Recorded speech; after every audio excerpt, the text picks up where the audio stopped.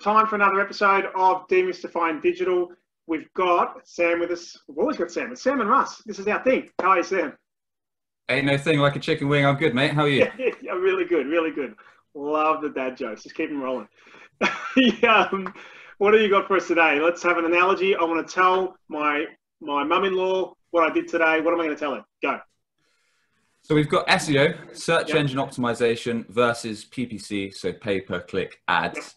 Um, this is one that I read many years ago, and uh, I like to use it. So when I'm speaking to clients, they might not understand digital marketing, or they might not quite understand what the difference between SEO and pay per click is.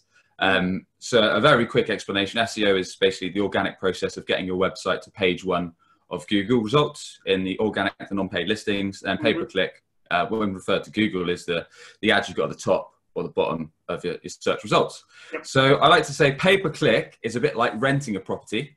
So as long as you pay your rent each yep. and every month, you're good. You're staying there. But the moment you stop paying, you're kicked yeah. out. You're out on your ass. And in this case, you're no longer listed on Google, so no one can see your ads. Yeah. Whereas SEO, search engine optimization, is like a mortgage. So it's a long term investment. It's, it's not going to be quick. It's not going to take weeks. It's, it's going to take some time to get you uh, slowly to the top of Google. So SEO usually takes months and months and months, and then over time, depending on how competitive the search term is, mm-hmm. you'll get to that number one top spot. Yep. And uh, in the mortgage case, you'll own the property, or in an SEO term, you'll actually own the the page one of Google. Yeah. So you'll have you'll have that position, which means you're going to get more web traffic, more brand visibility, more trust, yeah. and crucially more more leads and sales through to your site. So that's that's what it is: PPC renting, yep. SEO uh, mortgage. I love it. I love it.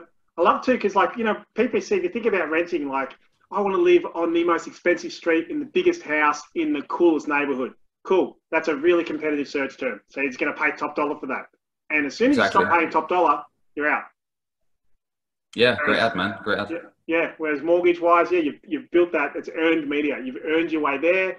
You know, they've got those. You got your renters who live in your street who you're like looking at them and going, oh, geez, you know, you know mm. they're, they're bringing the value of our pricing down, whatever. But you've earned your way there. You're not leaving.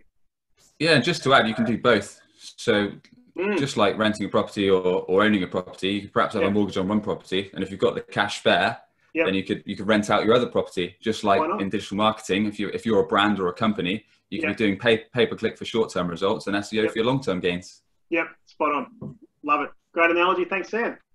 Cheers, dude.